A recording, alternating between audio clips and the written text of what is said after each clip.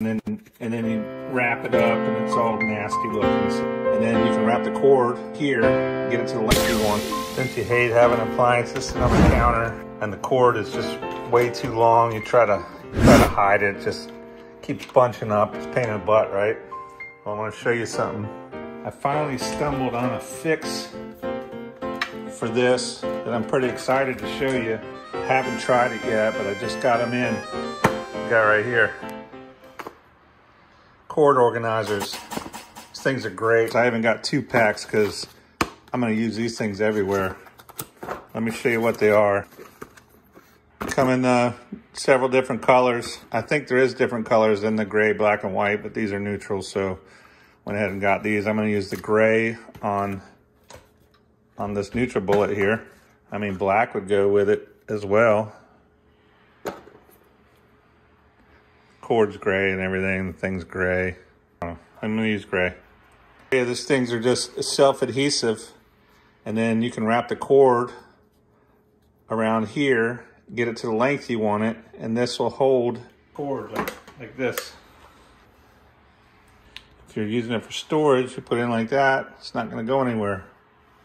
So I'm going to use some alcohol to clean off the spot where I'm going to stick it to. I want it to stick for a long time. So I'm going to use some alcohol. I'm going to clean it off. And I'm going to make sure not to cover up the vent. So whatever you're putting it to, just don't don't cover up any writing that you might want. Or, you know, if you see something like this, it's got holes there for a reason. So don't don't cover it up. Just going to get a little bit of alcohol on here. And then I'm gonna put it right here on the side. I'm gonna clean it really good. Yeah, I might as well clean the whole thing, huh?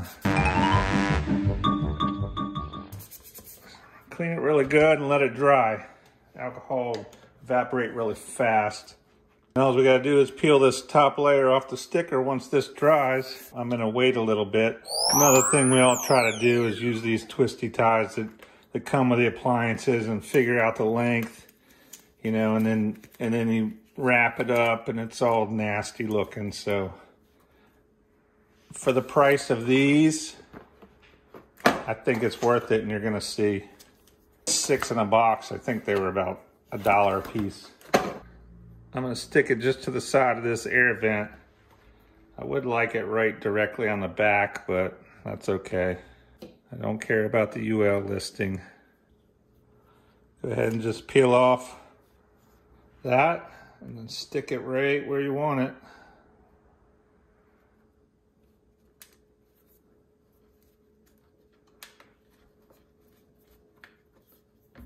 Look at that. The thing is on there. So make sure you put it where you want it because it's not coming off. No, it's not coming off. So now what you got here is a is a nice cord organizer. You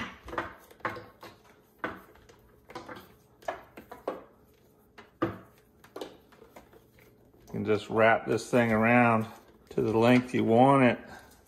Slide it in there. And then look at that. I don't know. To me, for a dollar, that's pretty nice. I'm gonna put a link to these down below if you're interested. I'm gonna use these things, man, on my grinder, my plug-in tool, tools that this will stick on and won't interfere with you using them. Uh, vacuums, two of them on, on the pressure washer maybe, but I'm sure I'm gonna find a lot of things to use it on. That's why I bought two boxes. Pound up that like down there, guys, and I'll see you on the next one.